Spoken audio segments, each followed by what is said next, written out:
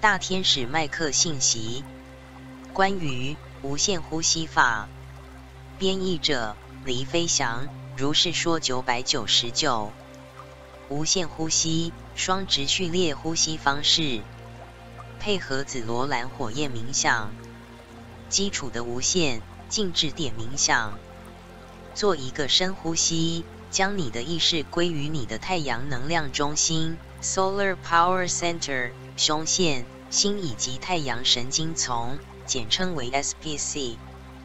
运用你所能感受的想象力，你的太阳能量中心充满着一切创造的神圣光粒子。当你更深入的呼吸时，你会感觉到能量已在你的身体内产生，并从你背后的脊柱向上窜升。这能量会充满着脊柱连接大脑下方的盐水。这里包含了控制呼吸与循环的神经中枢，同时也连接到扬声脉轮。造物主之光的能量沿着扬声脉轮，从你头顶上方六英寸的头部后方出来，以弧形的方式从前面扫下来，再度进入太阳能量中心。这个旅程持续沿着脊柱向下。并由海底轮出来，以弧形的方式向上流过你前面的身体，而再次回到身体中的太阳能量中心。随着每次呼吸，获得更多的能量、光与力量。持续这个深入有节奏的呼吸，你想象这个弧形的光与力量的无限符码越来越高于你头部，向下时更深入到地球。随着每次节奏的呼吸循环。返回你的太阳能量中心，在你觉得舒服的状态下持续进行呼吸步骤。要知道，当你吸进更多珍贵的金刚粒子，就能奇妙的加速进化及清理掉你身体载具中任何不调和的能量，并以造物主之光的物质充满之。你也将越来越能够进入更高次元新创造的思想形式。并将其锚定在你的身体斜线石箱，并更深入地球之中。你挚爱的地球将会从你分享这些奇妙创造的礼物给他的过程，获得非常大的益处。相对的，当你进到你家园星球上父神、母神管理创造的天堂乐园时，它会加强并协调它与你的连结。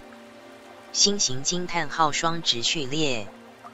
进行这项无限静止点呼吸步骤时，我们会启动第四、第五、第六、第七无限斜线第八个路径，以及第九次元天使的路径，从而连接到我们整个实体存有的多重脉轮点 （multiple chakra points） 或神圣的我是灵在。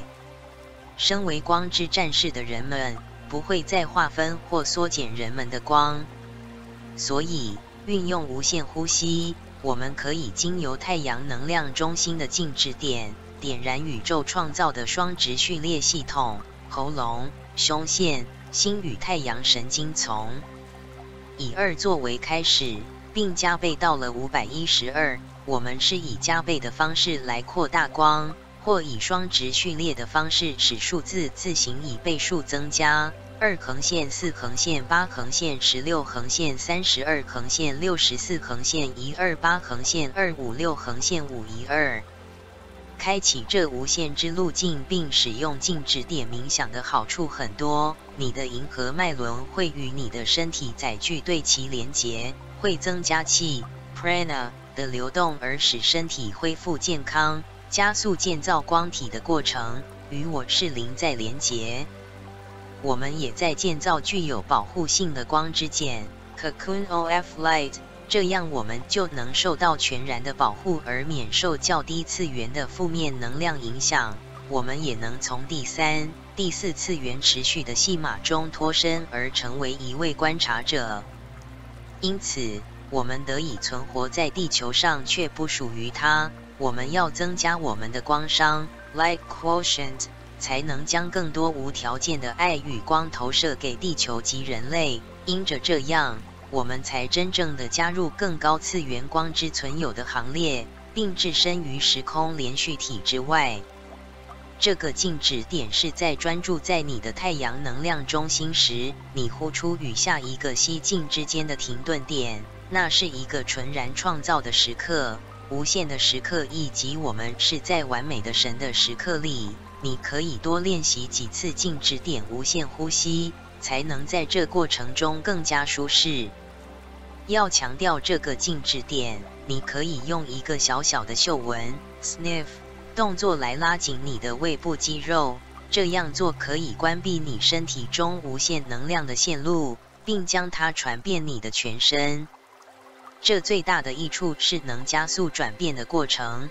许多人问到太阳能量中心是吸进与呼出必须进入的地方，这因人而异。